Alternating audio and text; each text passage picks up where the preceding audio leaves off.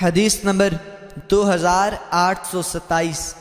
हज़रत आयशा रदी अल्लाह तहा से मरवी है कि रसूलुल्लाह सल्लल्लाहु अलैहि वसल्लम ज़िलहज्जा की चार या पाँच रातें गुजारने के बाद तशरीफ़ लाए और मेरे पास गुस्से की हालत में आए। मैंने पूछा, या रसूलुल्लाह सल्लल्लाहु अलैहि वसल्लम, आपको किसने नाराज़ किया है? अल्लाह उसे जहन्नुम में ले जाए। आपने फरमाया क्या तुम्हें मालूम नहीं कि मैंने लोगों को एक हुक्म दिया, लेकिन वो इसकी बजा आवरी में, लेकिन वो इसकी बजा आवरी में तरदद कर रहे हैं। रावी कहते हैं, मेरा ख्याल है, आपने फरमाया, जिस चीज़ का मुझे इलम हुआ, अगर पहले मुझे इलम होता।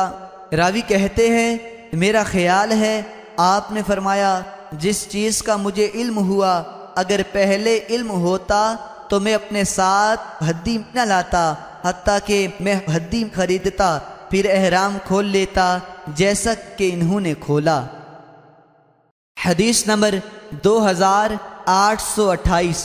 एक और सनत से मरवी है, हज़रत आयशा रती अल्लाह तहा फरमाती है कि रसूलुल्लाह सल्लल्लाहु अलैहि वसल्लम जुल्हज्जा की चार या पाँच रातें गुजारने के बाद तशरीफ़ लाए, इसके बाद हसब सबक है।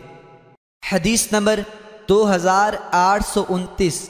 हज़रत आयशा रती अल्लाह तहा से मरवी है कि इन्होंने उम्र का एहराम बांधा और तशरीफ़ लाई और अभी तवाफ़ काबा न किया था कि वो हैज़ आ गया, कि हैज़ आ गया।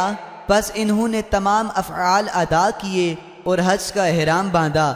रसूलुल्लाह सल्लल्लाहु अलैहि वसल्लम ने वापसी के दिन फरमाया, हज और उम्र के लिए तुम्हारा तवाफ़ काफ़ी है।